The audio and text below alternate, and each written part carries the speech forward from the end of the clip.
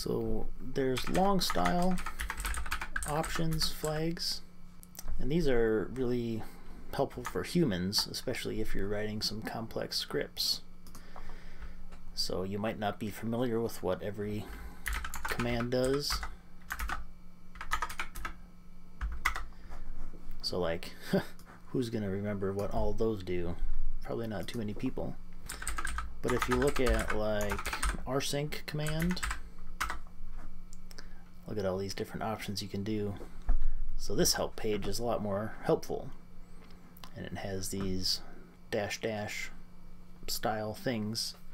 And some of them you can just find out what it might do based on the word. So recursive, it tells you here that it's going to recurse in directories, but you know, if you just saw this option in a script, you might know that it's trying to go into all the directories as opposed to if you were just using this dash R.